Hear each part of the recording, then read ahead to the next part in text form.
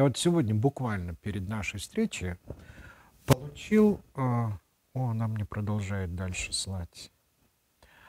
А, письмо. Сказку. Это моя ученица, она живет сейчас в Кембридже, работает, продолжает работать, и мы с ней поддерживаем связь. И вот на тему старых, вот так задали вопрос, а как раньше. Это на тему раньше и сейчас. Это очень такая популярная тема.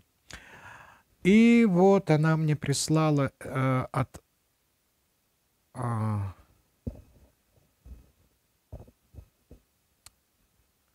Барбара Амбраш. Это потерянных сказка о потерянных танцевальных ценностях.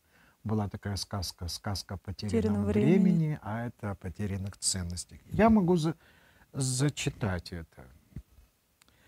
В маленьком городке, расположенном в самом сердце сельской местности, было время, когда община проводила ежегодный танцевальный конкурс – это мероприятие стало праздником таланта, трудолюбия и самого танцевального искусства. Много лет назад организаторы очень гордились своей традицией иметь непоколебимо честных судей, людей, известных своей справедливостью и беспристрастностью.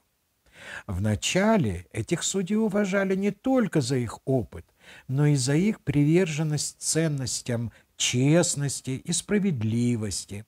Они серьезно относились к своей роли, зная, что их суждения могут осуществить или разрушить мечты молодого танцора. Шли годы, и в городе дул ветер перемен. Танцевальное соревнование больше не оставалось незатронутым сложностями внешнего мира – Судьи, которых когда-то уважали за их безупречный характер, теперь оказались втянуты в другой танец – танец связи, лоббирования и сложной командной динамики. Традиционное правило, согласно которым судили без страха и предвзятости, были отменены, уступив место переговорам и множеству незавершенных дел – которые позволяли вести непрерывный торг.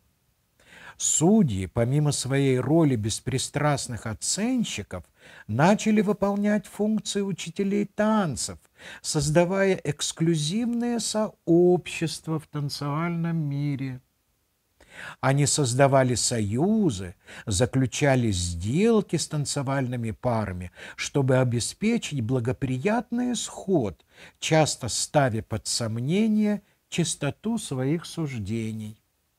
В ходе этой трансформации молодые танцоры со всего мира оказались на распутье. Они начали задаваться вопросом, соответствует ли этот сдвиг их истинным желаниям и подлинному «я», танцевальный конкурс, который когда-то был праздником таланта и самоотверженности, превратился в сложную сеть влияния, в результате чего с танцором и судьям приходится бороться с ценностями, от которых они отказались в погоне за успехом. История этого маленького городка служит напоминанием о том, что путь к справедливому судебному решению лежит не только в политике, но и в ценностях, которыми мы дорожим. Это поучительная история, которая подчеркивает важность сохранения честности и сущности истинной страсти, которую мы разделяем. Но это не у нас, это в городке. У нас все раньше и теперь. Я ответил на, вас, на ваш вопрос.